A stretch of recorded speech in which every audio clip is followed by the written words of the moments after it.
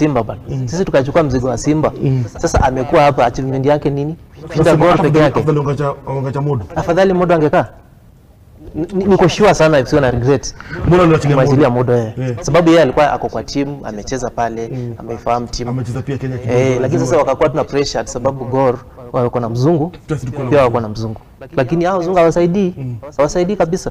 Eh, pia tukiangalia pia ile timu pia nataka tuongelee ni eh, polisi. Polisi wamefanya signing kubwa kubwa. Ukiangalia mtu kama huyo alikuwa timu gani? Huyo alikuwa Azam.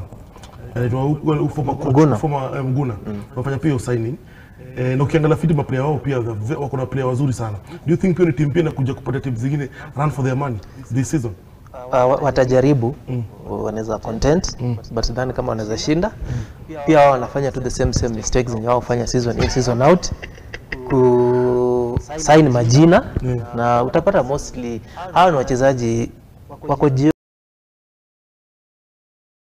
miaka zao za jioni jioni, karibu anaenda kuretire. Sababu Mguna amekuwa hapa, amekuwa wapi, so utapata kwamba akishalemewa Azam anarudi Anarudi Kenya. anarudi Kenya.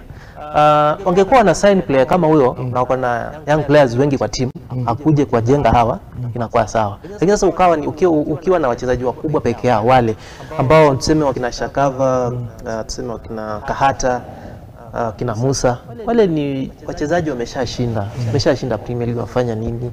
Au kina Matasi wameshafanya mambo mengi. Sasa hapa wamekuja kutulia, wanapiga hesabu ya kufanya nini, ya kuretire kama wako mali fiti ambapo wanakula kula vizuri. So most of the time hawa si wachezaji wenye wako kwa long term uh, plan ya timu, wanakusaidia tu kwa ule muda mfupi, na si ule mtu atakuja ati kupigania timu kufa kupona. Hapana, Mm. mtu wa kupigania timu ni ule umemtoa chini yeah. Nataka tumalizie historia ya Kenya kidogo, lakini tuko topic yetu